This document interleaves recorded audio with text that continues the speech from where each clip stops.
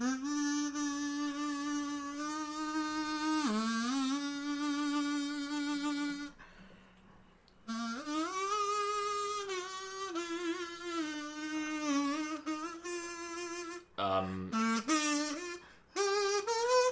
Hannah, Huh? What? what are you doing? They're just playing some soulful kazoo. You know how I do. Some soulful kazoo. Soulful kazoo, yeah.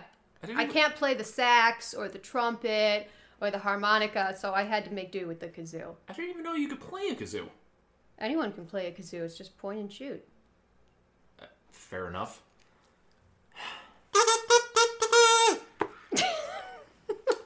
well, I think it's time to blow this scene. Get everybody and their stuff together. Okay? Okay, Three, two, one. let's jam.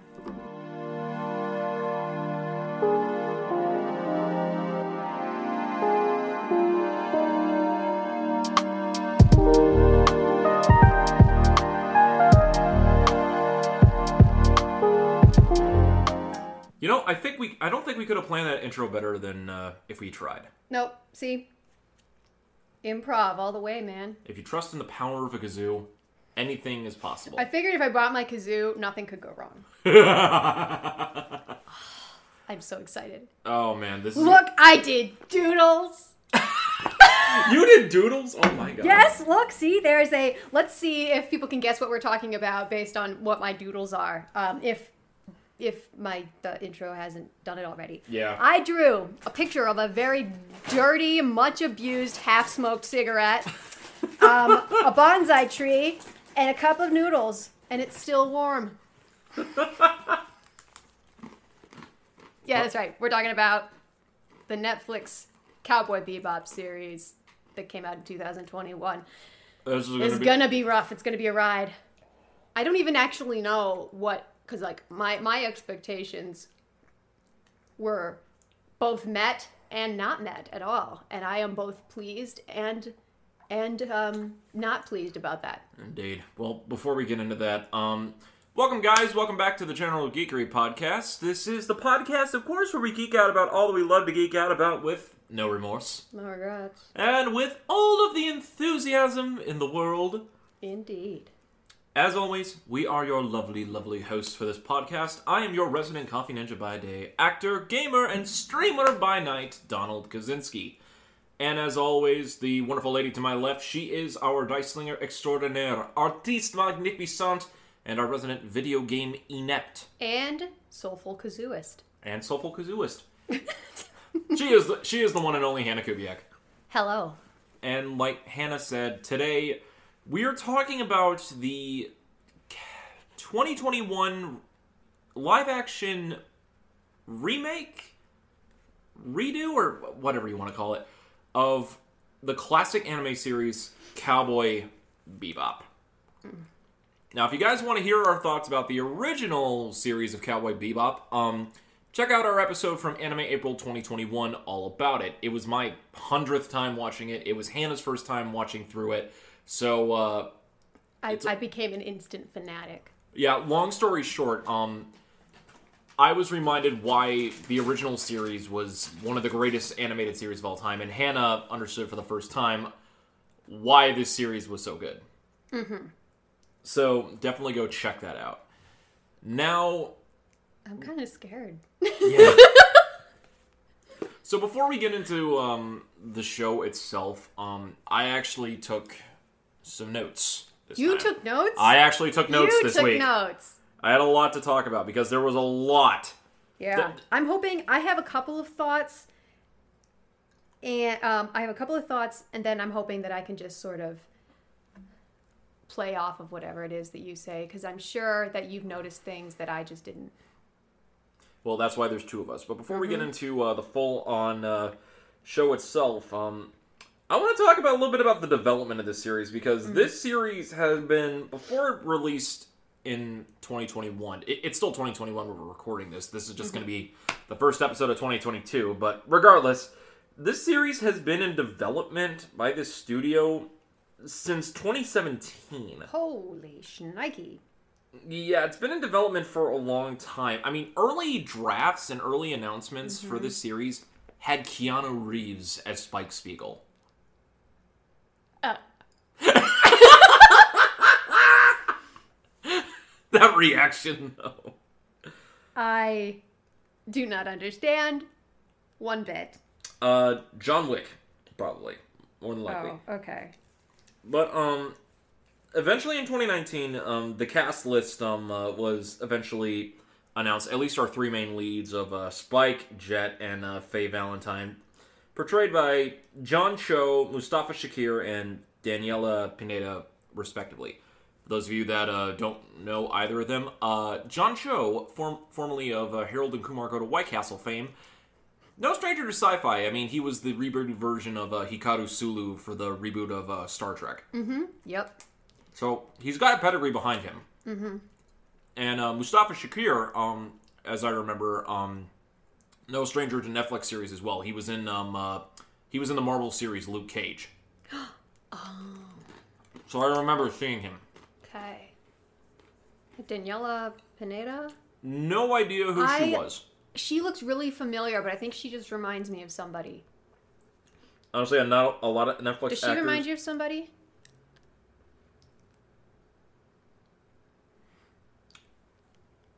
Um. The Cosmonaut! Oh, god damn it! Gosh, man, do, does she not remind you of the Cosmonaut? Okay, anyway. Seriously, what, ser- seriously, who the hell is the cosmonaut? I don't know. Welcome to the Bebop. Welcome to the people. All right. So, the series had been in development hell for quite some time. Um, during 2020, um, it was set to be released. Unfortunately, production had to be halted when John Cho um, suffered an injury on set, Yep. so they kind of had to postpone it. That, along with the pandemic, kind of postponed stuff. Um, but eventually, this past fall slash winter, Netflix released Cowboy Bebop 2021 live action. One season of 10 episodes based on the original series as well as the original movie um, for Cowboy Bebop. I haven't seen that actually. We haven't talked about that. I that. want to either. see that just to see it. I'll, fi- I'll find out where we can get, get it. Awesome. But um to say that reviews were mixed is putting it lightly. But you guys know us. Um we do not usually look towards um critical reviews of critics or other people. We like to watch the product and assess for ourselves. Yep. Both of us um in the days leading up to this recording just finished the live action series. I watched it in one day. It took me. It took me. It took me two.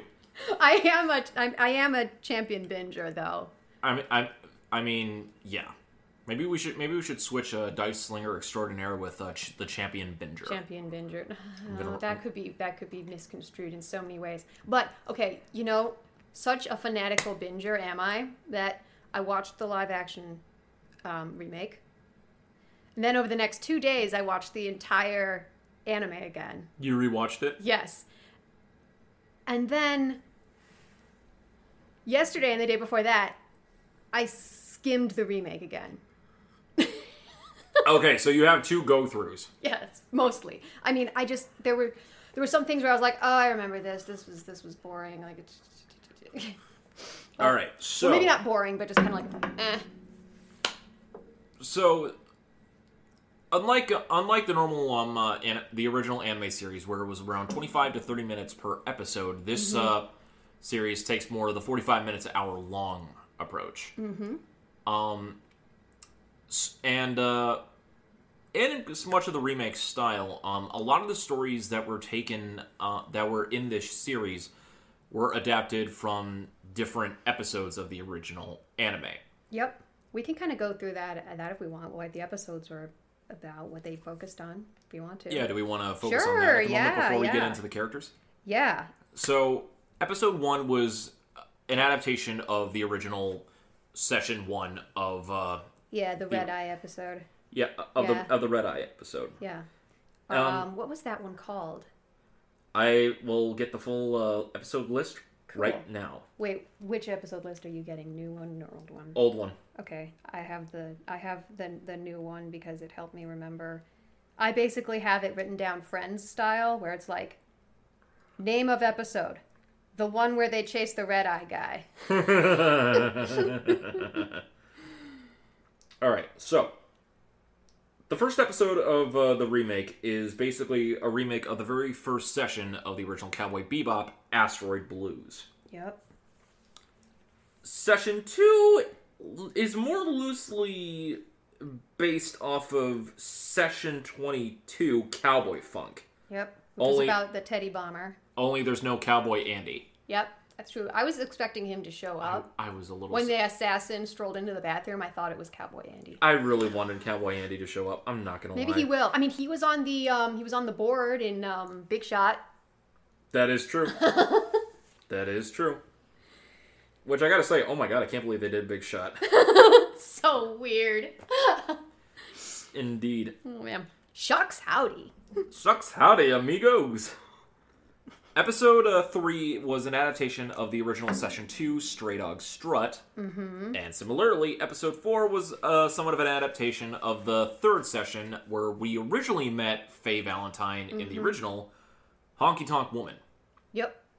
No, wait. Well, partially Honky Tonk Woman, and also original Session 4 Gateway Shuffle. Because uh, the, bio, the bio bioterrorist What about the uh, the Ganymede sea rat fanatics?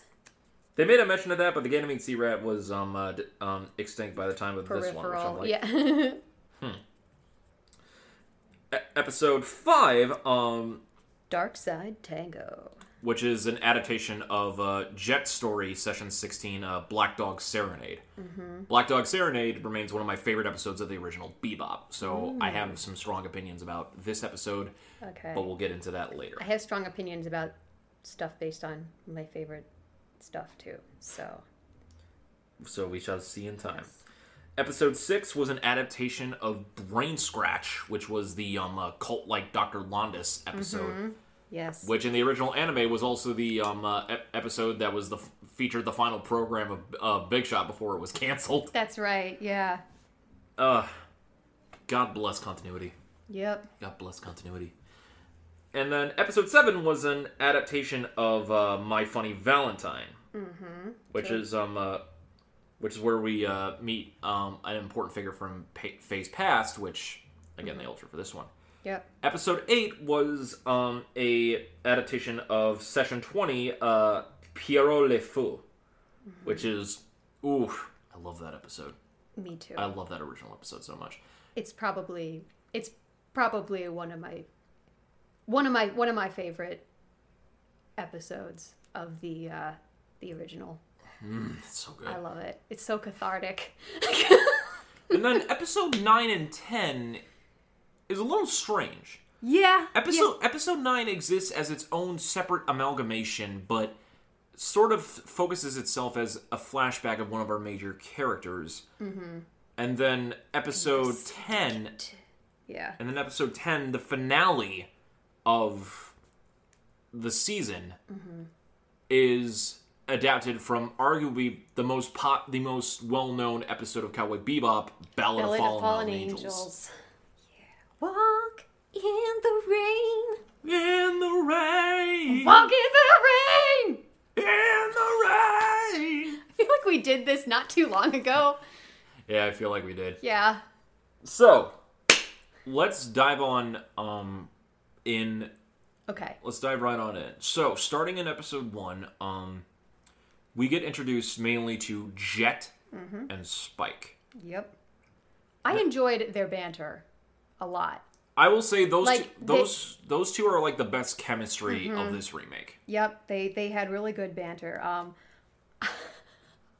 I okay, I, I, I knew that I knew we were we were in for some good verbal shenanigans. Um, that part when um, Jet says they have a job um on um on Tijuana, and Spike is like, you know what I got last time I was in TJ? Herpes, stabbed. Know what I was doing? Buying a churro. Like, Bro, I was like, oh my gosh, love it. Overall, over I enjoyed uh, John Cho's performance overall. I mean, it's very different from how we saw Spike in the original. He there's still a he still carries an essence of like the original Spike, but Well, no, yeah, like the very first shot we see him in when he walked out of the elevator, and they're like, "Hey, you with the headphones." He takes them off. He's like, what? You know, like Yep. like basically he's got that sort of dazed, oblivious, I just wandered in here and don't know what's going on kind of. that Spike, vibe going. That, that Spike was often want to do. Yeah. Yeah. And um so yeah, sort of oblivious puppy one one minute and uh ass ass kicker the next. Indeed. Hmm. So they go after the same um uh, hitman, well, not the same dealer that they went after in the first episode, um Asimov. Mm-hmm. Only, in this one, this is a little bit different. In the original, Asimov was um just a guy that went out on his own, but in Mm-hmm. this version, he's tied to the Red Dragon crime syndicate that Spike was a Mm-hmm. part of. Yeah, so kind of the um, inciting incident of this whole series is is um some is is someone from the syndicate, vicious, finding out that Spike is still alive, and then that leads to like everything else that goes on. It's kind of like, um, well, as as he said in the episode, like it's time to wake up.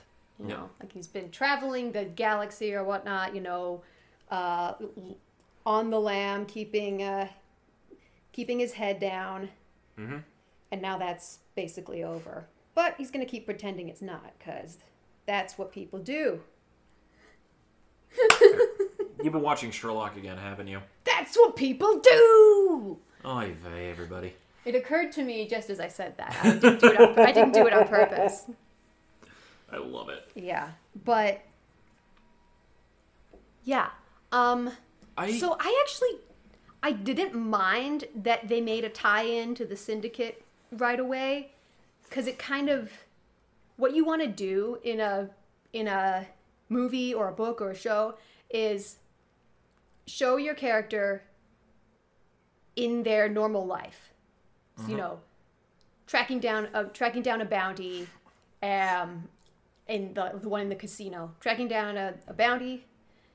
It goes kind of belly up. They get less money for it than they were expecting because of all of the damages and things that they caused and like that. And that's pretty that's pretty typical. That's typical life for um, the crew of the Bebop. And then this episode with the red eye, the syndicate gets is is involved in it, and uh, Spike tries to walk away. He's like he's like you know when it comes to the syndicate, we walk away, right? He's like Yep. yeah, we usually we do, but we really need a lot of money. And he's like ah, no, uh, we don't want to do that, no. yep. But they get involved anyway. Someone recognizes him. Someone tells Vicious. Vicious. Uh, He said fearless. What? What? Why? Why? Why did you do that tagline for Spike? Why? Why? Why would you name him fearless? It could have just been like Spike, like before. it could have. Yeah. I I don't understand the meaning behind behind why they decided to give Spike a title. Mm-hmm. It That was Did- my phone. to me that just made it feel he it made him feel like less unique, more of like a, it's like a stereotype kind of like tagline that you would mm-hmm. give someone. Yeah, maybe. I don't. I don't know. I don't know why they did that. Uh, but um. Explain to us, writers. Explain to us. Yeah. Um, then um, episode two, um, we get a little bit more Yeah. insight into like the inner workings of like uh, This was one of my favorite episodes in the remake. Actually. the Teddy Bomber one. Yeah. Okay, I'm, I. I, I just thought it was amusing. it it there, it was like one of the episodes that did have like that bebop charm and Mm-hmm. everything. So I can see why. Mm-hmm. Like everything going on with uh, Jet and Spike as they try to figure out the Teddy Bomber um, yeah. situation. I I enjoyed the guy wearing a bomb and the bear head, and they couldn't understand what he was saying. just sort of like this whole like it could have been a really dramatic situation, but it just became ridiculous because you couldn't understand what the man was saying. yep.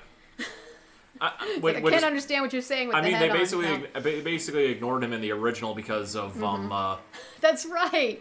yeah because because of Andy. Yeah. because Andy and Spike were going at No, each that's- other, and then like he's like, I don't appreciate being ignored. Yep. That's actually that's that's one of my that's one of my favorite in the anime as well is the bomber one. It's just so silly how like they don't even get the bounty. They're just fighting each other, like clambering up the destroyed uh, skyscraper like monkeys, With, having with, this. with- the most over the top um uh, Western music Yeah, imaginable. Bless you, Yoko Kanno. I love Man, you. it was ridiculous. It's just like yeah, with the with the like tumbleweeds and stuff. oh man. So that one was uh, that one was interesting, and you get a little bit of um, like S- Spike gets a chance to tell Jet the truth about what's going on, about whether about him being like part of the syndicate and it coming back to haunt him now, but he doesn't. Keeps it to himself. He doesn't. That's true. Yeah. So that's one of the things that I found like I was waiting for the payoff of that, you know, like just continuing to lie and lie and lie and hide all this mm-hmm. stuff away. I was like, this is going to get really bad and explode somehow. And like, if you just said something sooner, maybe things wouldn't have been so bad. But, you know, I'll keep I'll keep my opinions with that to myself until we reach Sure, the end sure. because this all reaches it. yeah. It's also during this episode that we get switched between like two different narratives here. Mm-hmm. We have the bounty of the episode that follows Jet and Spike, Mm-hmm. and then we have stuff going on with the syndicate with Vicious and Julia, Mm-hmm. who is his wife in this version. Mm-hmm. Not sure how I feel about that. Well, I do know. I, I didn't like Oh, it. I, I I didn't like it. Okay, can we can, can, can we um I'll I'll save the stuff with the characters for the end Yep, because we'll save the characters. we're gonna save the characters for the end. I got I got things to say. But, but with the characters aside, can we agree that like almost every single ep- episode, it felt like two different narratives, of like two completely different genres and shows. Actually, yeah, there was the sort of, you know, um quirky um s- grungy space freelancer cowboy arc where we're just kind of like Very like- Firefly-esque. Yeah, very Firefly-esque. And then we had Gangst, gangster It's- Macbeth, yeah, it seemed like it was yeah, it seemed like it was Macbeth, but it with seemed space like yakuza. it seemed it seemed like it was trying to be the Godfather or something. I thought it was just trying to be Macbeth. Because, But, because um, because of how um, Vicious was trying to take control of the syndicate. like, oh with the- yeah, all the, coup. murder and stuff with the coup. Yeah, so that the coup, which was in the like second to last episode in the anime, takes up pretty much his entire uh, Vicious's entire arc throughout. Yeah. Um, and so like we we follow like vicious like um trying to cover his tracks and trying to set up in order to gain control of the syndicate Mm-hmm. and power but it kind of slows the episodes to like a crawl though Mm-hmm. yep. When I skimmed, I mean that I mostly skipped over syndicate stuff in my second viewing. I was kind of like, it's boring It is. It was boring. I was kind of like, I don't. Well, it was mostly. Oh, okay. Well, it's mostly about characters, but then also just all this political intrigue and stuff. Like, I'm not very good with that stuff to begin with. Like, it- like, like power dynamics and like, like the hierarchy of things and plays for the throne and stuff. I Yeah, just don't in- really. in shows like game of thrones or stuff like that where that's like a central concept of like the show itself it Mm-hmm. can work but that's never been what cowboy bebop was about no. Yeah. They. Well, like that's Yeah. that was window dressing Yeah, I think they sort of they took that very powerful moment from the anime of the coup happening where you think that he's going to get executed and it does not go that way at all. Um, and that was like a really that was like a, a really impactful one scene in the anime, but in the live action, they just sort of diluted it into this kind of long crawl yeah this long haul. crawl full of like people talking about people talking about power and how are we going to take power and yep stuff. So yeah. I I I agree with you. Put bluntly, it was boring. Uh, and, and then we just cut back to the Bebop crew, just being the Bebop crew, only Mm-hmm. in more confined settings. Episode three, we move on to the episode to the story where we're introduced to Ein. Mm-hmm. I love you, little Ein.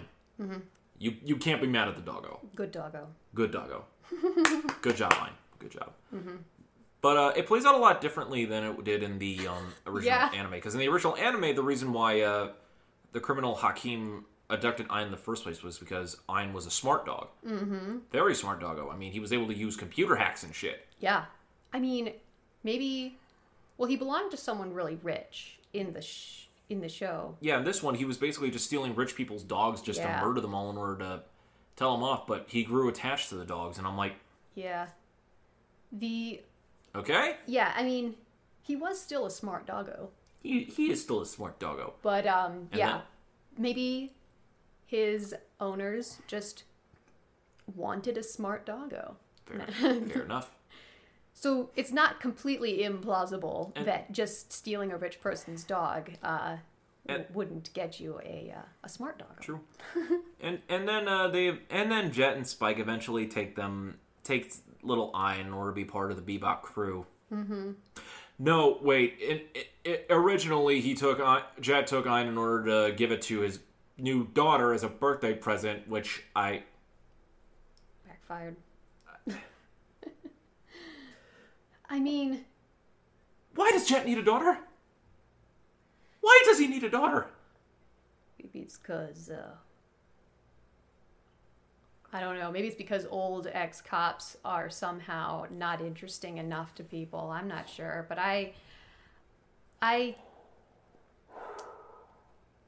I, I, I, I stuck with it. I was kind of like, I don't know about this, I- I- but I I stuck with it too, mainly because like Jet was like the closest that they got to capturing the original. Mm-hmm.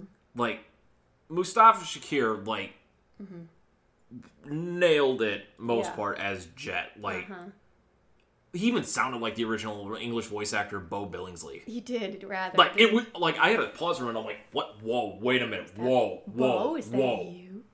Beau? Excuse me. Yeah. Voice So, yeah. acting gone? Legend? Yeah. So so yeah, he he did uh, he did well as the sort of like the kind of the moral compass, quote unquote, the mom character on this in this crew, just constantly trying to keep everybody out of trouble or not. which which he kind of was as Yeah. the, like the captain of the bebop even in the original Yeah, I mean, he would lose his lose his. Uh... Well, sometimes he. Well, yeah, sometimes he would try to. He was like, "Well, you got yourself into this mess. Get yourself out of it." But then eventually, he's like, "Ah, shit! I gotta go and help them. I guess." Yep. You know, like.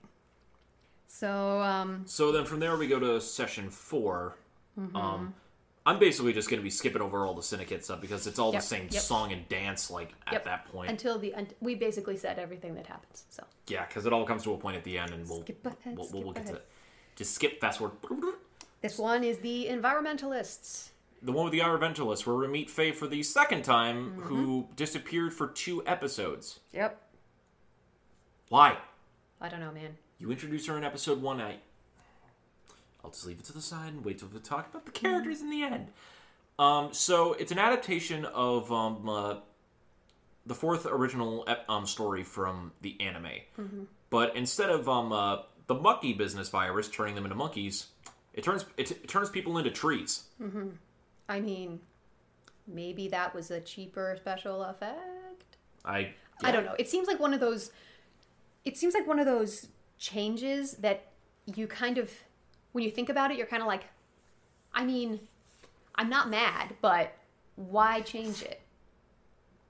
Yeah, like it like turning them like into monkeys like it made sense with like how like evolution works. Oh right, yeah. If you want to be symbolic about that, yeah. But at the same time, well, I'm, I'm just saying yeah, like a from a regre- science like a fiction from a science sort of thing. fiction point of view. Mm-hmm. But now we're turning them basically into woodland soylent green. O- o- okay. Woodland Soylent Green. I mean, I don't know how else to put it. yeah. So So we get our first full like episode with Faye. Mm-hmm. he And eats cheesy toast with chopsticks. I thought that was interesting. cheesy toast with chopsticks. I mean, it keeps you from getting your hands dirty, I guess. You don't eat cheesy bread with chopsticks. I wasn't mad. I just thought it was kind of weird. I- I'm agreeing with you. I'm agreeing with you. I'm like, I was like, no, actually, the first time I, I, I was like, I was like, why is she doing that? And I was like, oh, you cheesy, use cho- cheesy bread is oily. And in this universe, I guess they don't have forks. You use chopsticks mainly for two main two main things alongside other stuff: rice and sushi. Not necessarily in that order. And and back alley earwax removal. Okay, that's probably number six on the list, but Yep. still. But overall, like the episode was fine. It was. It seemed more uneventful. This Yeah, was this was probably did- like the weakest episode. It did kind of drag from the on the the weakest on the bebop arc. You mean? yeah. Mm-hmm. I would agree with you on that. Yeah. What follows that was one of my stronger episodes on the Bebop arc, which was episode five, which was the remake of Black Dog Serenade. Mm, It was. This was pretty good. I will say, um, getting a lot of insight for this version of Jet, I really love. Like, I don't think I really talked about this in in our original anime April review of like Cowboy Bebop, but the Black Dog Serenade episode has become like one of my favorite stories in Bebop. Mm-hmm. Mainly because as time has gone on, I have grown to love Jet as possibly one of my favorite characters of the show. Just like um, the way he carries himself, his backstory, basically who he is, his morals. Like, I'm the black dog. Once I bite, I don't let go. Not until I've gotten gotten what I went after. Yep. And then in this one, they basically uh, insinuated a very sexual reference to the black to the nickname Black Dog, and I'm like, oh my god, why? Please no, please no. So, this was probably like one of the more well done episodes. Even though like the original one was more exciting because basically they were um, going after um uh, a, a prison ship in space that um the pirate um that the prisoners basically overtook. Right. In this one, they were just chasing the one guy who had gotten onto a who'd escaped onto a planet. Yeah. Which I guess Yep. yeah.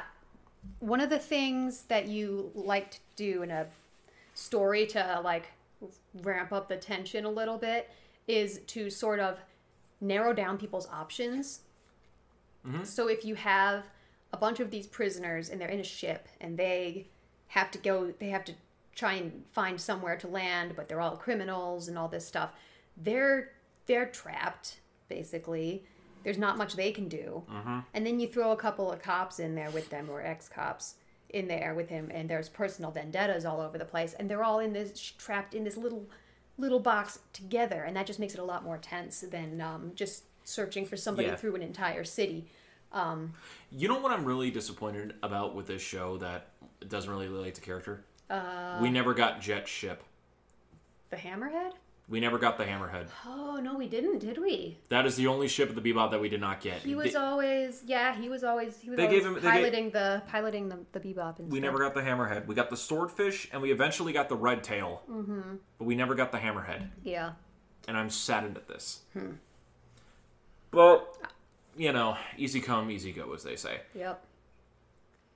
So that, so that, so the narrative of that one was really good. But then again, I'm a little bit hung up on like my love for Black Dog Serenade, so I'm willing Yeah. to forgive a lot of the stuff in it, Yeah. except for one part. But we'll get to that when we get to the characters. Okay. We'll put a we'll put a pin in it. I'm gonna put a pin in that. I'm just gonna Okay. take this balloon. I'm just gonna place it right on top of the microphone, which I will then grab later, because we're gonna get to that. Oh yeah. and I'm gonna take that pin and I'm gonna pop that balloon. Yeah. Okay, the next one was called Binary Two Step, which is based on um, Brain Brain Scratch. Scratch, the virtual reality. Um, basically, you could just um, join join the uh, join the cult and renounce your body. Rele- Um, release yourself from worry. This this episode in the anime Brain Scratch kind of freaked me out. Honestly, I don't know why. Like the Yeah. first time I saw it, I was like, "Oh my gosh!" It like, is. It is the most existential um, it's so episode. existential and i yeah i just was i was just like oh my gosh all this stuff about technology and stuff because it became even more it's even more relevant now and Yeah. you know the um the whole the way that they adapted it was also also pretty spooky like just make like um spike gets trapped in a loop where Right. basically he has another chance to like uh, run off with Julia and This is really the only episode, like outside of like the first episode for the most part, Mm-hmm. that was mainly bebop focused. yeah, It, it was the only other episode that we never got like any real, real like real life tiebacks like to the syndicate workings, Mm-hmm. if I'm not mistaken. yeah, So it was very interesting. yeah. And I um in this this episode particularly, I um um there were some there were some really subtle like subtle moments in uh, John Cho's performance that I really appreciated. Like, you know, this this character is um, just like sort of this sw- like swaggering, couldn't care less kind of uh, you know cowboy. Yeah. Yeah. But the moment he sees her, he completely changes. Just like there's so much like just like sadness and tenderness there. Just like how Spike in the original like spoke of Julia, Mm-hmm. Yeah. especially during um uh oh god, what was the two parter? Um, was it Jupiter Jazz? Jupiter Jazz? Yeah, yeah, that was one, one, of them. Yeah, the one with um Gren, where Gren um with uh, he find they they intercept like a message coming from someone by the name of Julia, Oh and yeah. he thinks that it's her, and he runs off. Yep, just complete completely uh just drops whatever he's doing. Yeah, for just to, her. just to run off, and like it almost got him kicked off the bebop Yep. with um because Jet was so mad at him. Yeah. Yeah. And then- because of his basically his his secretive attitude and just going off and doing whatever the hell he pleases kind of thing. Right. But yeah, I I appreciated the character building in the virtual reality world. We got to see like another another facet of You want to know a really so weird? I enjoyed that. You want to know a really weird freak out moment that happened? Yeah. Literally at the end of that um, episode, when um uh, um Spike said I could never forget you or something like that. Literally all the power in my building went off for like five seconds. Oh my god. I was freaking out. I'm like, what the fuck? Can never forget you. I'm like, what? Wait, what? What? What happened? Shut, shut down imminent. Who dare? Who dare? Yeah, and Who fired the Who fired the railgun? yeah, and just yeah. So that that whole thing about and also just the whole idea that having to, you know, like letting the past go is just something he cannot do. Like that that became really apparent in this episode just because of just how many times he went through the loop Yep. even if even though it ended the same way and even though like the um, the AI kind of changed the programs uh, um, so that uh, Julia said all of these horrible things Yep. and all this stuff like he just would not let it go Yep. so that From there we get to from there we go to episode seven, which is um uh, Faye um basically meeting the important person from her past who she thought she loved, except for a man in, in this version, it was a woman pretending to be her mother. yep I don't know how we feel about that change. I mean, I think, I think it makes, I think, I think it made it a little bit more. It made it feel more personal. It might just be because, in my mind, have uh, like having a family is more important than having like a lover, you know? and that's kind of the deeper sort of it's a deeper connection that you've had for longer kind of thing. And just like getting that back was because yeah you know you can find like like faye could find a guy anywhere but she only has one mother. So like Well, i mean i wasn't i wasn't i wasn't mad you know? Well, I didn't really like the character of the mother that much I, but- I I can kind of understand that sentiment, but at the same time, we never really got any like previous indication or flashback material that really showed this. oh yeah that's true Really? yeah like- besides the phone call that she like in the the, the people into trees episode Right. We knew that she was around, but we'd never seen her. Yeah, like in the previous, like in the previous version, like in the original version, like we got flashbacks which showed that um the um her Faye and the male version of this particular character Mm-hmm. like being together being with each other through all this even though it ended up eventually being a con mm-hmm. i it's just something it's the same kind of um, thought process that you literally put your trust and faith into someone that you trust especially as with someone with amnesia like that and then you the betrayal hurts that much more Yeah, and then it's hard for her to trust again. Like, basically, she she doesn't she doesn't clue uh, Jet and Spike in on it, and right they're left it kind of in the in the dark as to the situation, what's going on. And Jet was kind of like, "Well, why didn't you tell us? We would have had your back." And she's like, "Yeah, I, I like she it literally did not occur to her that they would have her back." Well, I w- the reason why like it could have worked, but the reason why it did not work for me, I will go into when we talk about the characters themselves, because I'm gonna blow Faye's character open like a firecracker. Okay. Feel free. From there, we go to the um uh, uh the Pierrot Le Fou episode. that was creepy That was the cr- most creepy ass thing. Oh my gosh. for no reason. Oh my gosh. like the only part about it that I don't like was the fact that Vicious was the one that sent him after Yeah, and it wasn't just like this random encounter. random encounter.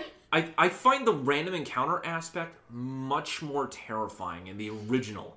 Yeah, just like because you base he literally he literally did nothing except he just happened to be there and the guy just went bananas. It's like somebody some people want to watch the world burn one way or another. The Mm-hmm. joke the Joker um method. Yeah. So I, I mean still like damn. Yeah. I, I gave you props for tr- for trying to create that madman to come to life like Yeah, that was pretty crazy. And you know what? So yeah, um what is Oh, the the the episode in the anime is just called Pierre LeFou, yeah? Pierre Le Fou. Pierre LeFou. That is probably Yeah, that's what that's one of my if not the, my favorite episode from the anime. I don't Okay, you know, It's no what- matter no matter the context, I love watching theme parks burn. That's just that's Fair. just part of who I am. If they ever demolish Six Flags, I'm gonna be there. like, Remind me never remind me never to take you to uh, Six Flags. yep, I uh, don't like theme parks. I think they're they're they're they're tacky and loud and uh, disgusting. I'm a thrill seeker, so I love roller coasters in general. So. Yeah, I won't force you to go on one if you don't want to, though. yeah. So. I mean, I would go on a roller coaster. I just wouldn't want. I just wouldn't want to walk through the theme park to get there. Yeah, That's understandable. the thing. I don't want to be like, you know, Roller coaster. No. don't want to be solicited by clowns and people wearing Fair. wearing lion costumes and Oh with my. the, the big hands and the, the big eyes. And then from there we get to episode nine, which oddly enough, a lot of people really found this one to be like the star episode. They thought they thought this one was one of the better ones. Yeah. Like the, like some of them really like the fact that they went into detail on like the history between like Spike, um, Yeah. Vicious, and Julia. we could talk about the characters later in that, but Yeah, that because this episode kind of ties into that Mm-hmm. and why all that. I enjoyed the cameo of uh, John Noble as yet another disdainful dad. that was great. Every fucking time. Every time. Thanks, John. John Noble. Noble. And then ep- You son, you're such a disappointment. and then episode ten, we get to this version of Ballad of Fallen Angels. Yeah, called Supernova Symphony. called Supernova Symphony. They do it all. Yep. The church scene, the um, window, the, the, the, uh, the window scene. like Ra- a wild beast. they they do the song "Rain" when Spike um, enters the church for the second time. Oddly, Yeah. Only this time they used the original Steve Conte version mm-hmm. instead of the one sung by um. Uh, oh, I forget. I forget who the. Yeah. It was my. It was my something. Uh, yeah. Okay, you know the funny thing about that is Um, so I'm more familiar with the Steve Conte version because um, I've listened to the soundtrack. Because sometimes you just want to drive along and listen Yep. to something, something that's popping. So um, Both versions are great. Yeah, yeah. And so I've heard the Steve Conte version a lot because that's the one that's on that album. So then when I when I watched the anime again, I had actually forgotten that there was a different there was that that the there was a different version of it and I was like, "Oh my gosh, I totally this whole time thought that the Steve Conte I kind of forgot that anime." too. It's like cuz like yeah, like the woman started singing and I was like, "Aw, it sounds it sounds it's got got, got a completely different tone." And then of course you had the famous um uh, through the through the glass falling window fall scene with Yep. uh, Green Bird in the background, which yep. didn't does not work in this version Not really. Well, you know, I was because the context is so different. Mm-hmm. Yeah, you know, well, well, the basically the moment they showed the church, like before anyone even went into it, I was like, hmm, he's going out that window in the end. I'm sure, like And and and, it's a and, fair assumption. and then the ending happens where spoiler alert if you haven't seen it. So everything plays out in the church scene normally how it does, and they're like the same dialogue, almost word for word. Mm-hmm. Which I'll put a pin in that. The what is it? He says like you you you should see what you look like, like a ravenous beast or Yeah, something. same runs for both of us. I bled out all that blood a long time ago. Then Why are you still alive? And, and then from there, We're such nerds. it- I mean, I'm gonna put a pin in that moment right there. I'm gonna put it right up here on the microphone, and then we'll talk about it later. When I and then yep. in comes Julia, who during all this time was trying to under ever since she found out that Spike was alive was trying to undermine Vicious, Mm-hmm. and she demands answers from Spike, and she feels betrayed, and she's she shoots Spike and is basically the one that sends Spike through the window. I'm not sure how I feel about that. I'll explain how I feel about it. Go ahead. because we're almost because we're almost done it with the episodes, and the and basically this this season ends Mm-hmm. with Julia imprisoning Vicious and taking control of the syndicate. Yep. Jet leaves Spike um uh, for putting his daughter in danger because Vicious was kidnapped her at the beginning of the final episode. Mm-hmm. Spike's wandering around now. Faye's trying to find answers of who she really Mm-hmm. is, and in a weird cameo to end off the season, we finally get introduced to Ed. Like something right out of Dr. Seuss. I, you know, I, I will say, I'll give credit to the actress for trying to imitate like how Edward was in animation, but Mm-hmm. I feel like that's kind of a character that you kind of have to reimagine You have to in live reimagine action. it. Yeah. Like you can't. Ed's too enigmatically energized of a Ed doesn't character. have any bones half the time. Pretty much, yeah. She's an enigma wrapped in a mystery that could probably bend herself around in all sorts of ways where contortionists would be like, What? it's like, how'd you get into the toaster? Edward has her secrets. Edward has secrets. Edward knows. Um, and so that is the end of the season of Cowboy Bebop. But unfortunately, that's probably going to be the end of the series because it recently came out at time of recording that Netflix canceled Cowboy Bebop yep. live action. Yep. So How how could you with such a rich product? Okay, we we were, we are about to blow this out of proportion. We need to talk about the characters. okie doke, go ahead. Where would you like to start? I'll oh. give you fir- I'll give you the first bullet in the chamber. Okay. I want to talk about Vicious. Okay, all right. The I could not take him seriously. The guy. Okay, hold on. I was texting a friend, and it came across much better than what I would say now. Um, I could not. I could not take him seriously.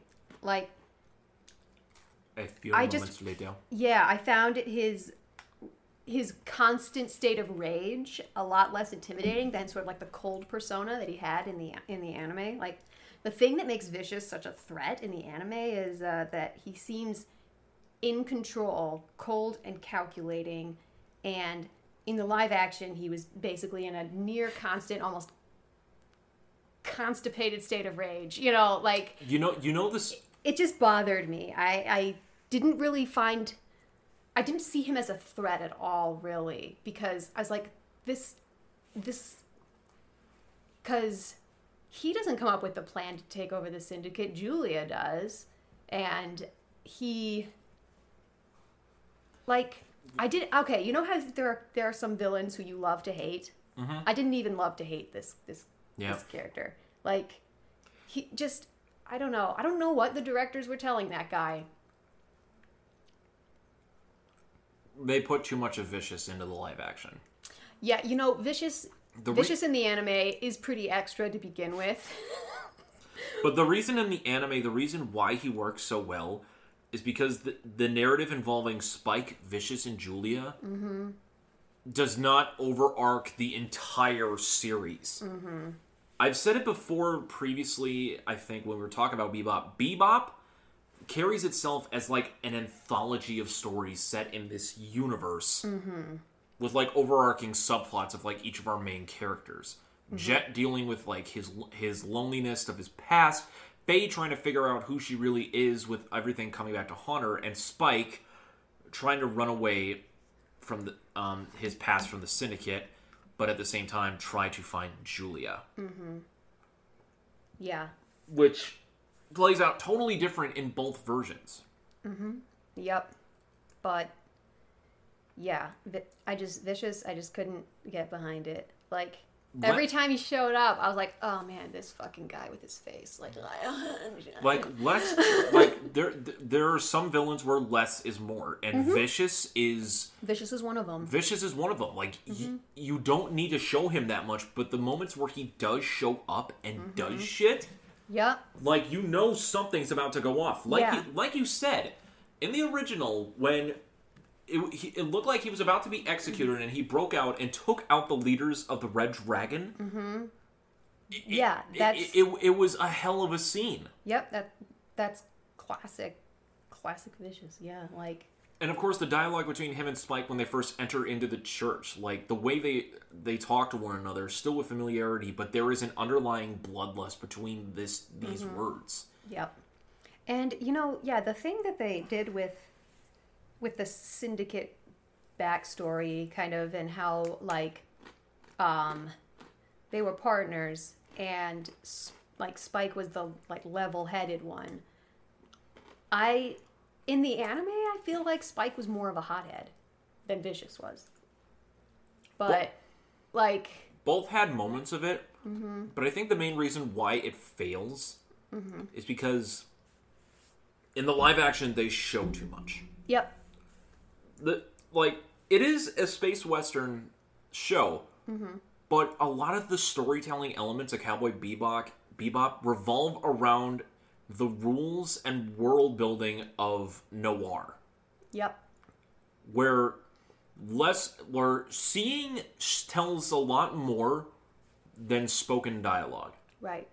like we can build an entire tapestry of a character's history through the slight flashbacks Mm-hmm. Yeah, little- we get from Spike's time in the Syndicate in the anime. Then we do it all with episode nine of the live action. Yep. And I think that that's enough. Like people like people say they're like, "Oh my gosh, like the backstory is so vague and we don't know exactly what's going on and stuff." I'm like, "Well, that's Th- that's art. that's fine, you know? Like That's how art works. You have to draw your own conclusions. Mm-hmm. There's a reason why like endings to anime such as Cowboy Bebop are one mm-hmm. of the most like talked about topics. Mm-hmm. Even the original director of the show still will not say whether Spike lived or died at the end. I think he died, but we can go into that another time." We did go into that another time. We, We did did. an, we did an entire extra episode on the Patreon for it. Oh, we did. That's right. Okay, I forgot about that. Okay. I'll probably really I'll probably release it like for act for all you guys since it's been like a year since then. Yep. Yep. But Oh, yeah, I'd forgotten about it. Yeah, but at the same time, like, oh my god, I'm like exposition central. Like, okay, first of all, can I talk about like the writing in the show? It was fu- the writing in the show is fine when it comes Mm-hmm. Writing is fine. when it comes mainly to Spike and Jet, but you have to. But I mentioned Firefly earlier. The writing is very reminiscent of Joss Whedon writing. Hmm. It is very reminiscent to Joss Whedon writing, where the serious like moments are undertoned by like a smart little quip in order to Mm-hmm. take away from like the seriousness and vagueness of a moment. That's never what Bebop had in its writing. Hmm. Like, sure there would be like a snide little remark every now and again, but every but everybody still carried it with the same like seriousness and tone of the situation. Mm-hmm. Like the dialogue between Vicious and Spike again in the church. Mm-hmm. they talk to each other like in terms of like playful words, but you can tell the seriousness in their voice and how they carry themselves. Mm-hmm. Which I did not get that from the live action Yeah, version. yeah, like the the um yeah, the syndicate backstory episode. I did not I did not understand like even if even if like Vicious saved Spike's life and got him off the streets and stuff, still I don't see how the two of those people those I don't see how the two of them could be friends really. I mean, they, I mean, they, I mean, they bond over a conversation about whether one shaves their testicles or not. But I mean, okay. Also, what, what the hell was with the writing in this one? Honestly, moments that I really had to stop uh, from some of like the like the choice dialogue in this was that one. Jet's old associate, um, uh, talking about blackmail and hi- and her saying that Jet was both black and male. I'm like, stop. Stop. And then in the same episode, they were asking um uh, a dominatrix stripper about uh, Hakim, where she said, "I'm late for my midnight bukkake." I'm like, what the fuck am I watching? I had to. St- I was laughing so hard because I'm like, I, I, in the in the back of my mind, I was thinking to myself, "This is like the fucking room. What is this? like, who just says this shit?" oh my gosh.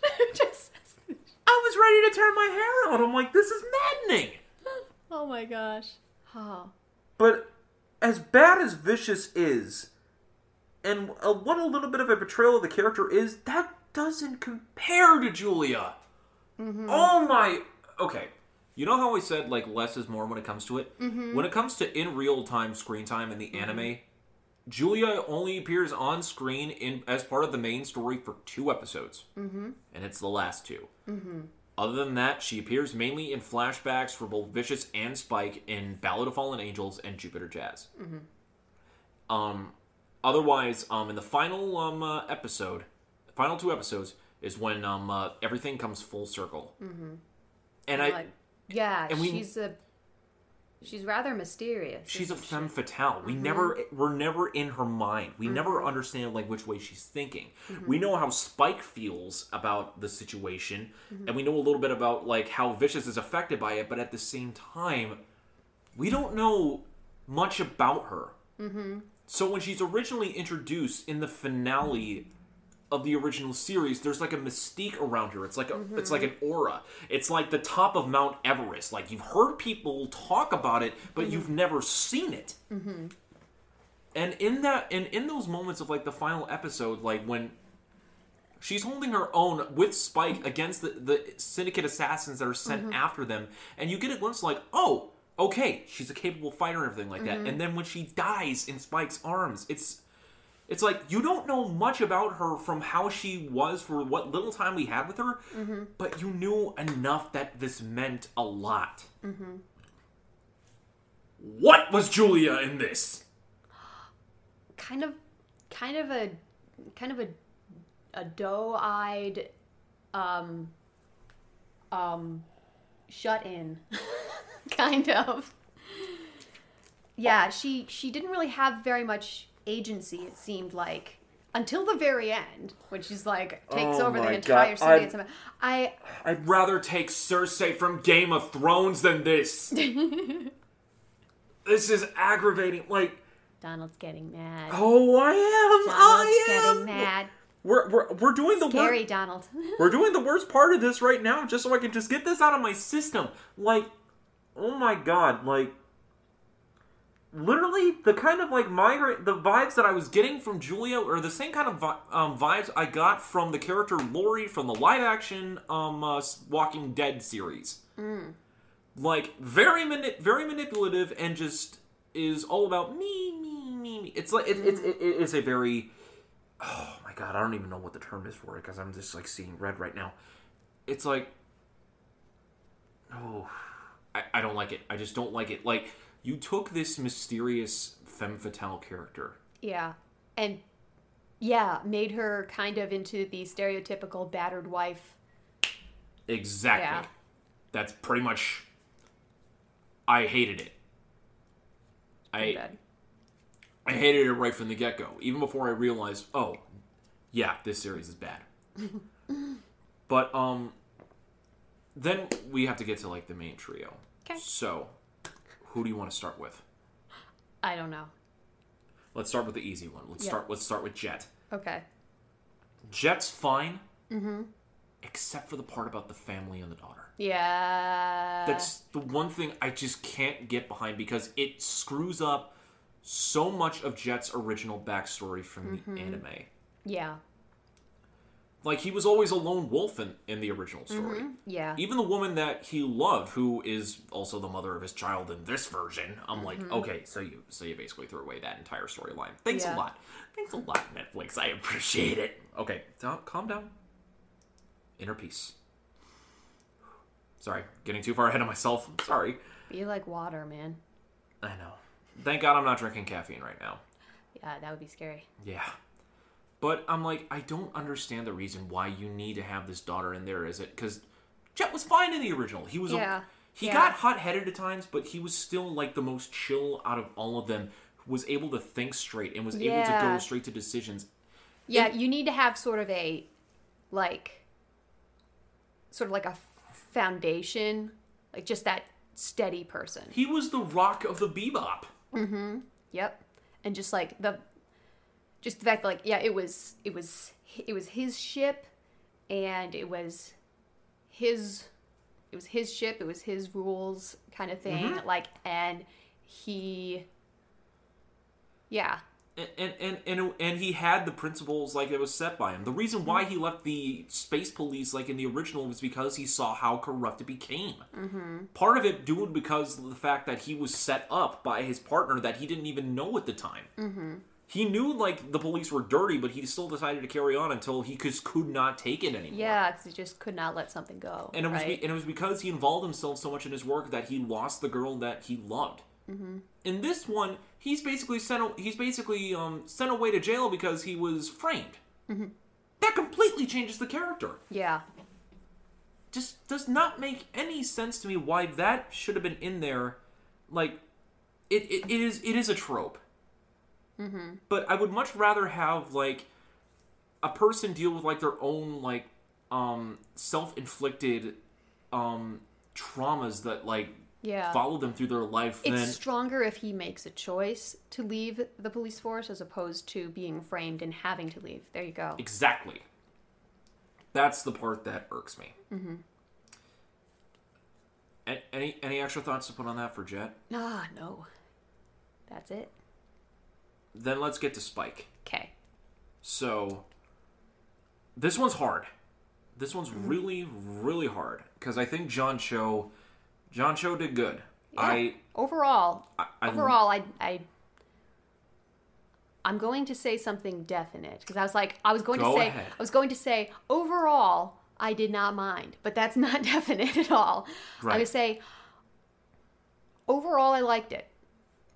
Right I liked the humor. I liked the the ob- oblivious sort of the yeah the the the, the ob- oblivious I just woke up act thing. I loved that. Um, the- well, he had the mannerisms down, but it wasn't a caricature. right Um, just- and the and it was sort of there was just enough of there was just enough of spike in there and just enough of his interpretation that i i, I that i i believed it was a, i believed it was really the character sometimes um he had his moments Yep, he had his moments. I also have really been wanting noodles for a long time now, all week. It's because of the Teddy Bomber episode, isn't it? Yeah, that might be why I like the Teddy Bomber episode. Honestly, it's because like The noodle that, scene. That whole no, because that whole episode, He wanted noodles. that whole episode, the reason he like the way he explains everything away by just saying, "I'm gonna go get noodles." Did you get your noodles? No, I didn't get my noodles. Still They- hungry. Never got my noodles. They got a noodle bar I'm spike. just hungry and tired. That's all. Let's go get this guy. Can you get me those noodles? They're still warm. Still warm. Okay, we've solved the Easy. mystery of why I like the Teddy Bomber episode. Fair enough. because. I also am a hungry waif-like vagrant. Um, I mean, aren't, aren't all millennials in the end? actually, yes. Yep. That really calls to my millennial heart. Yeah. Being a uh, being a freelancer, barely scraping it together. I sit here with a bag of pretzels at my side. Yep. Yep. Anyway, Literally today for dinner, I had what did I have? Did I have anything? Well, Hannah contemplates her meal choices in life, um, I had an instant chicken pot pie. That's what I Ah. had. um, that'll but do it. yes, overall, overall, he did well with what he was given It in was the series. yeah, it was fine. What it was given. Um, I think the only thing that I just, it, I, whether it was unintentional or not, they portrayed Spike a lot older than what he should have been, because he's only in his late twenties in the original Bebop. Mm-hmm. Like he was young, so he still had all that energy, but you could tell, like from his mannerisms and how he carried himself, that he was world weary from his time as as as an assassin. Mm-hmm. So it, it, it's a slight nitpick on that, but otherwise, um, he was fine. Yeah. See, I, I didn't, I don't, I didn't really know how old he was supposed to be in the anime, so I had to, I had to double check myself. I I was kind of like what like my thought was basically like no older than early 30s, honestly.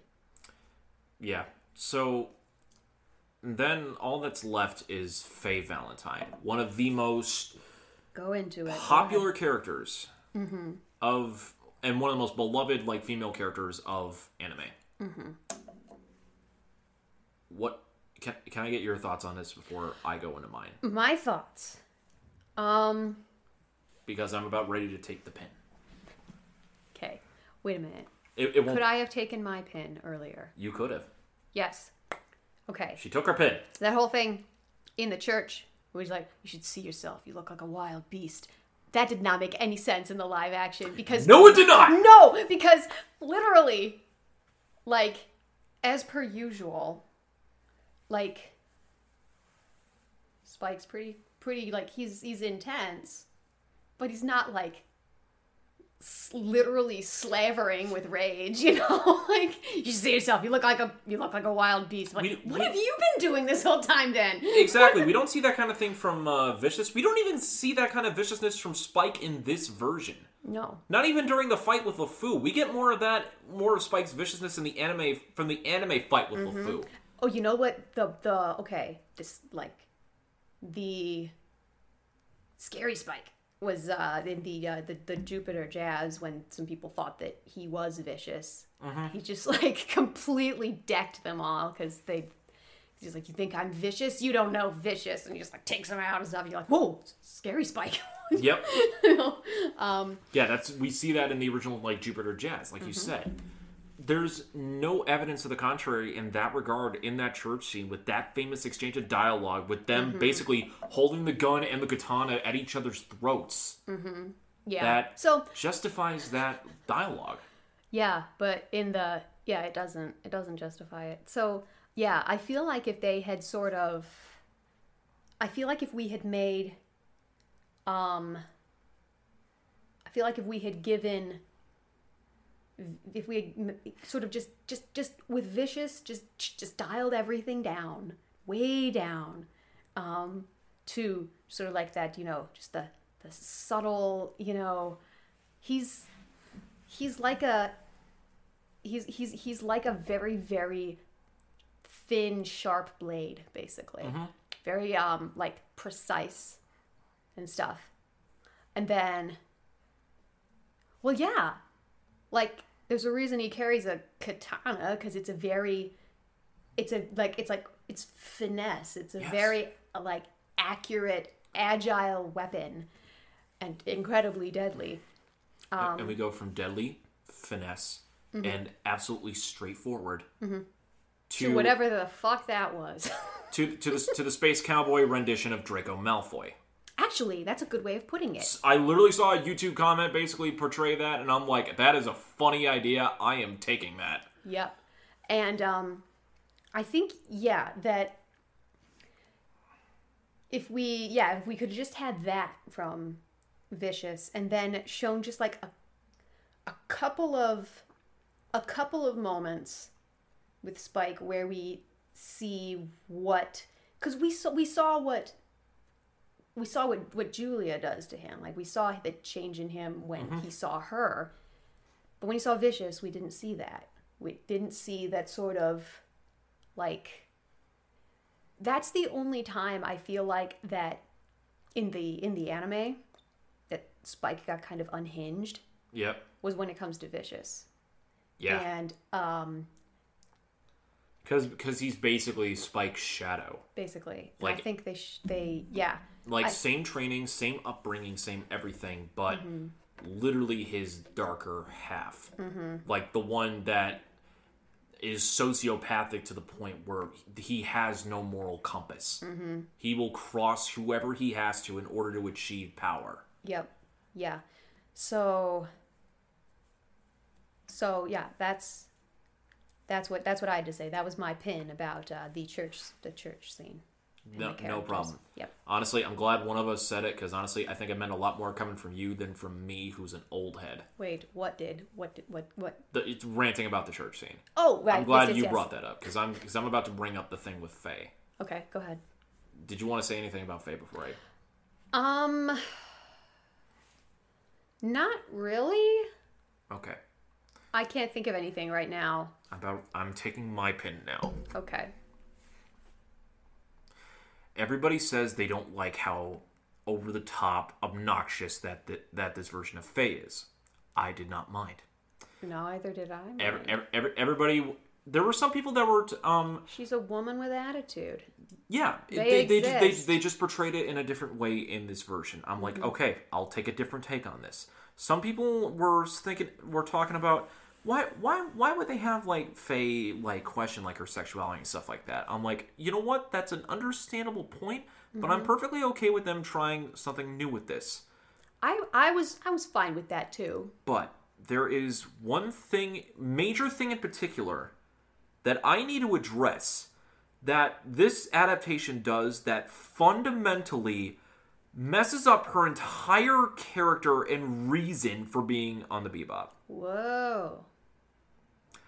In in this version, Earth shattering stuff here. it is established that she is already an experienced bounty hunter. right. Then why do, then why does she still need the identikit from her mother? Curiosity, just having the truth. But in the original version, the reason the reason why she be, she didn't start out as a bounty hunter. She was a criminal that was running away from a massive debt, Right. and she was basically stealing and conniving her way into trying to figure out how to basically pay everything off that she basically had taken from her. Mm-hmm. That she was thrown into this world that she doesn't understand, scan, understand, and scam for everything that she had. If she's already a successful bounty hunter and seems to already be doing well for herself in this world, Mm-hmm. she seems like she's doing good for herself, even though she has amnesia. Yep. If I had amnesia, I'd. That's not where I would be. So, excuse me if I find it a little bit difficult to understand that you have someone who proclaims she is doing well off for herself, even getting one of the most famous bounties in universe in the live action version, mm-hmm. compared to a complex, emotionally unstable, but keeps cards close to the chest variant from the original who utilizes every single thing that she has going for her in terms of her looks, her wit, her mouth, every single thing that she has available to her to basically live another day. Mm-hmm.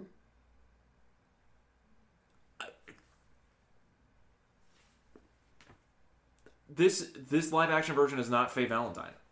This is I don't un, I don't understand why this needed to happen. It's it, it's a small thing, Yeah. but it goes. It's for me, basically kills the character dead in the water in the live action version. That honestly didn't occur to me when I was watching it.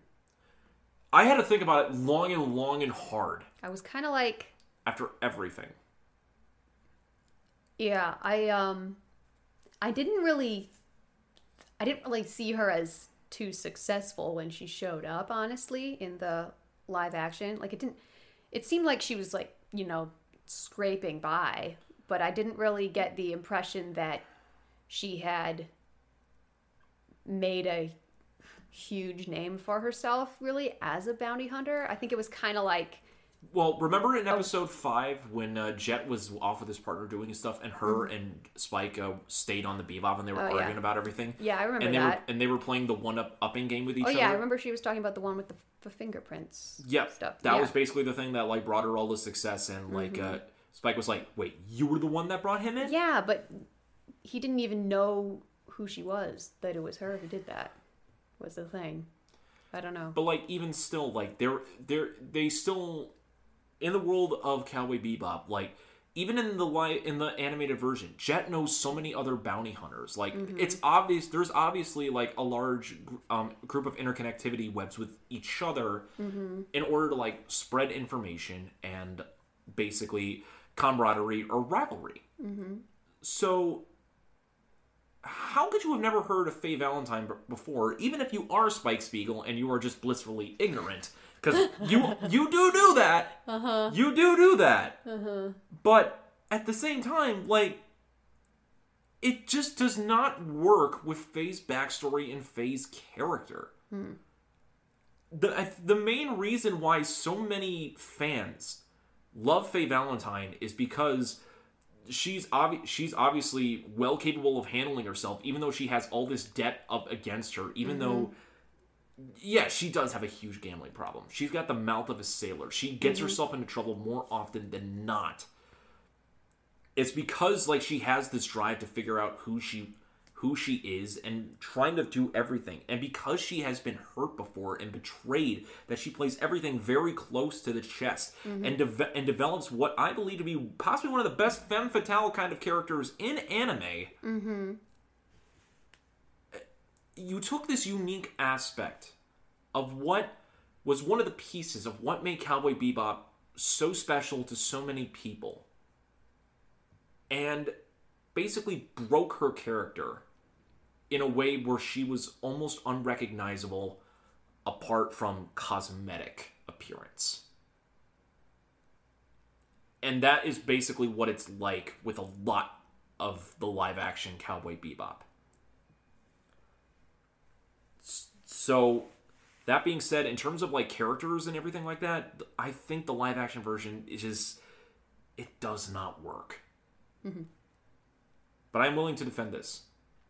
In terms of like visual style, like how far they go to try to recreate like the world of mm-hmm. Bebop in live action, They did pretty well with that. they did really well. Yeah. They even had the ceiling fan. Yeah, like they recreated the Bebop almost like verbatim. Yep. I was amazed. I'm like, it doesn't seem like they're taking any of this for granted when you first watch it. Like the in, in the opening scene, it even looked like the casino that was from like Faye's That's introductory right. episode. That's right. I remember that. Yeah. And I was like, okay, I'm willing to take the ride. And then when you show the fact that it was basically an updated version of Tank from uh, Yoko Kanno and them, and it's almost like a live action recreation of the original classic opening, I'm like, okay, okay, I'll, I'll give you a chance. I'll give you a chance. And they brought the same music people back Yeah. to do the soundtrack. But I, th- I think another reason why I love the original Bebop soundtrack so much is that it wasn't always just like bebop or jazz style music. Mm-hmm. Like there was there- other stuff too. It's like Western. Yep. I was actually listening to the entire soundtrack um, at my at, at my during my shift today Yeah. when I was working at my cafe. And um, I forgot like how many different genres of music were in this. And I remember during an interview with um, the the crew that worked on the original Bebop, including the director Shinichiro Watanabe, they specifically stated that they worked on the music of the series first and developed the story from there. That's cool.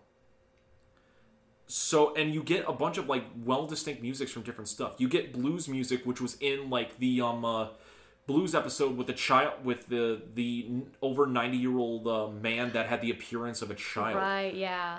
You had um uh, the, tr- the Sympathy for the Devil. That's that Sympathy was. for the That's Devil. another of my favorites. top 5 Mm-hmm. easy. Then you then you had um uh, the space trucker VT who went by Heavy Metal Queen, and you had like all of like that different like hard rock and heavy metal instrumental all throughout that. Mm-hmm. You get like the orchestral like choruses and operatic melodies from Ballad of Fallen Angels. Mm-hmm. You get the classical musical um aspects such as like Beethoven during the "Don't Leave Anything in the Fridge" episode. Toys in the attic. Toys in the attic. That one's amusing. I love it. And it's like Don't leave things in the fridge. Mm-hmm. Exactly. And there's so many other great so much great songs that was not used in this adaptation. But at the same time, I'm like you don't have to really do that, but you can you can be more experimental with the music. Mm-hmm. Yeah. Like think about other great Cowboy Bebop stories that they didn't adapt into this version. What would Heavy Metal Queen have looked like? Oh yeah. I don't know. That would have been interesting. It's it would be hard to do Toys in the Attic, but that, would Yeah. that would be something. That would be interesting. Sympathy for the Devil. That would have been tricky to find a child I mean, to I- do that. I mean, there are some pretty creepy children out there. good child actors exist. They do. If Stranger Things has taught us anything, great child actors exist. They really do. Yeah. That one would have been interesting. Oh my gosh. Or like, I'm just now I'm just thinking about toys in the attic, and I'm like, How would you do that? yeah. The thing, not even the creature isn't even the hardest part. It's how would you light a cigarette with a blowtorch in real life? That is true. That is very true. Ooh, I love it. what about Bohemian Rhapsody with Chessmaster Hex? Oh That would have been creepy. What if that? What if that? What if that was one of the um uh, stories that they would possibly would have saved for like a season two if it, if it had been greenlit? Oh man. I mean, you never would have known. Yeah. Like like with a live action adaptation like you can go in so many different directions with like Mm-hmm. taking stuff Yeah. like in different directions or you could have just created like original content Hmm. but still remain faithful to like the characters of how they are Yeah. how they act you don't really need to americanize it to the utmost degree because they Yeah. americanize the absolute heck out of this to an extent Hmm. but something got lost in translation mm-hmm.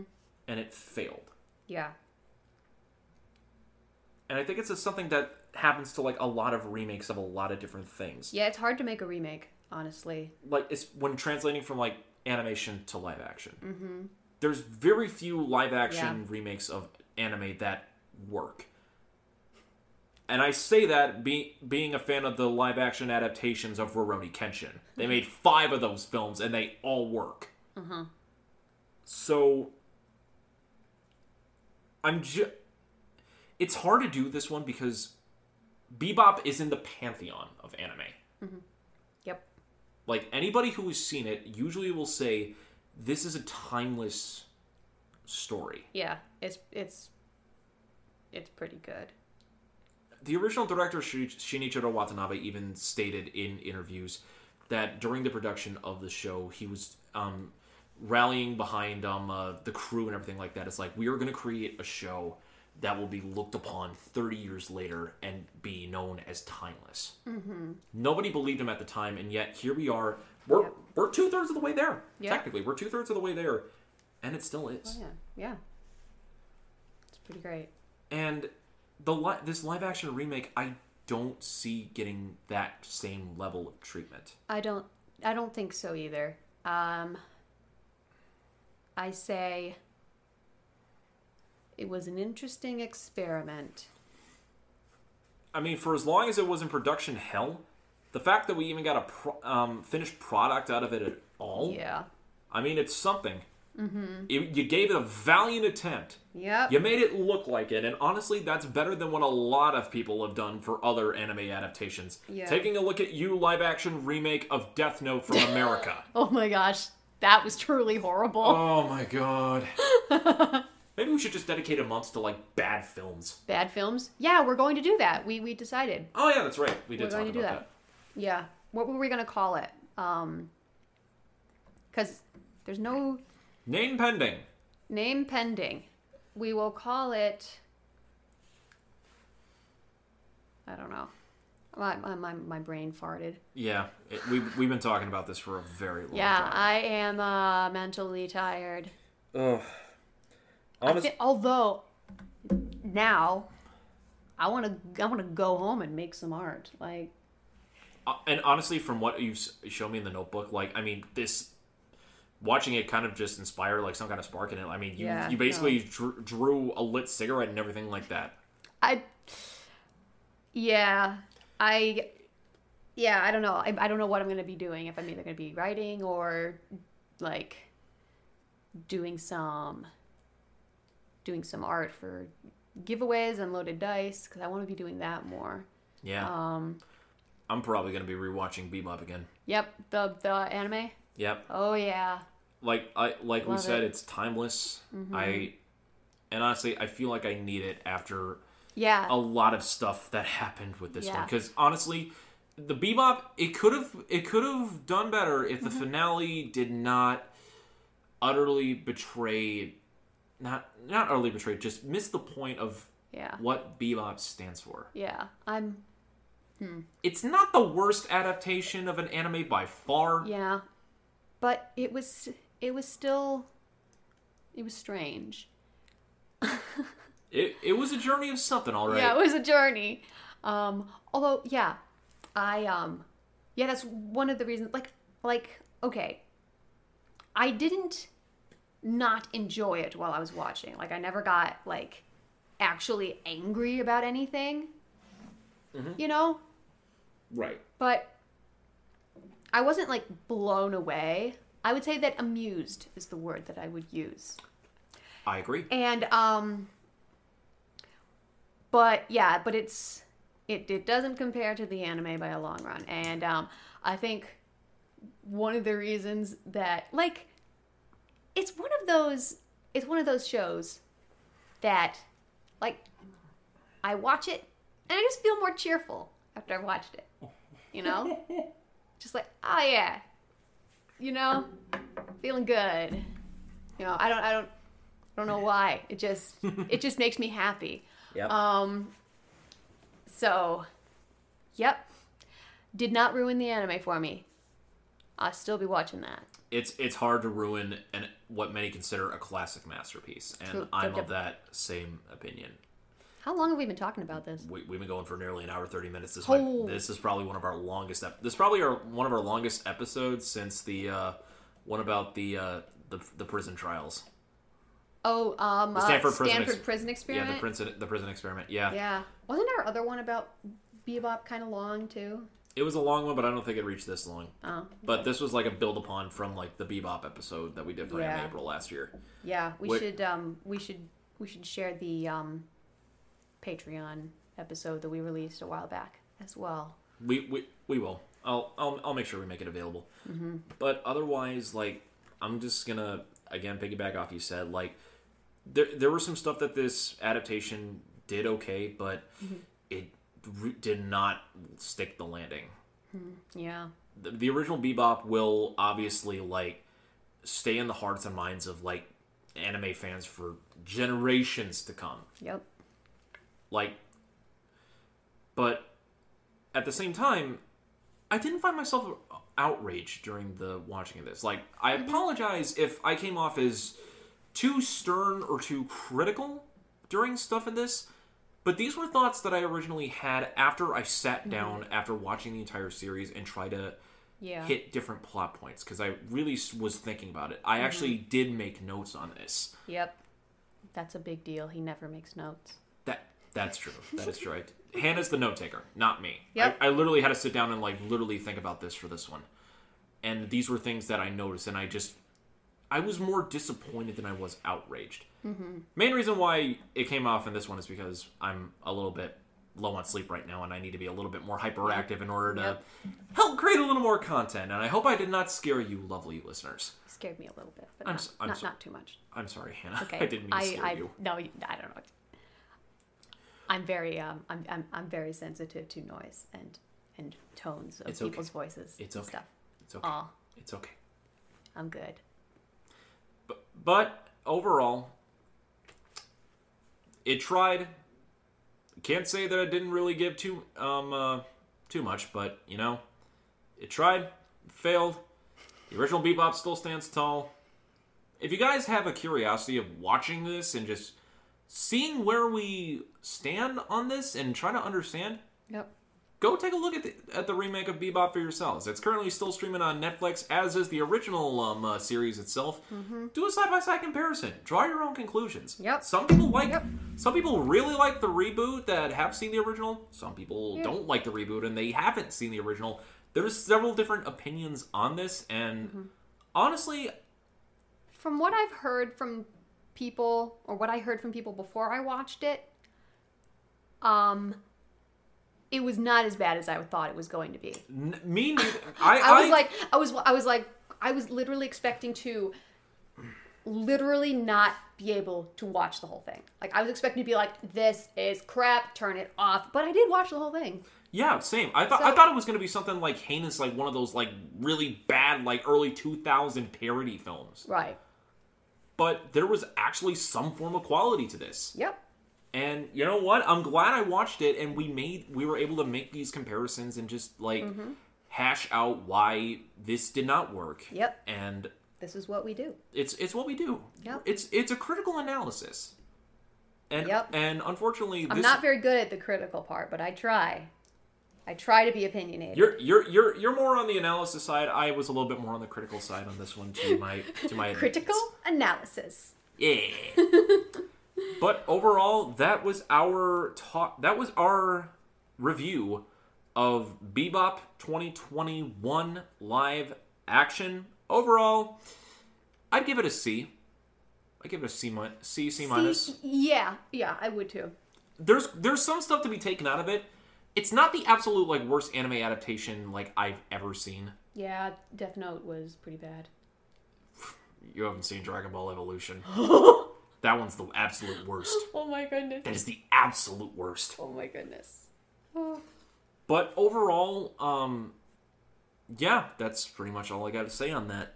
I think we can close off with that. I think so. Shall I shall I play us out while you uh while you do the credits?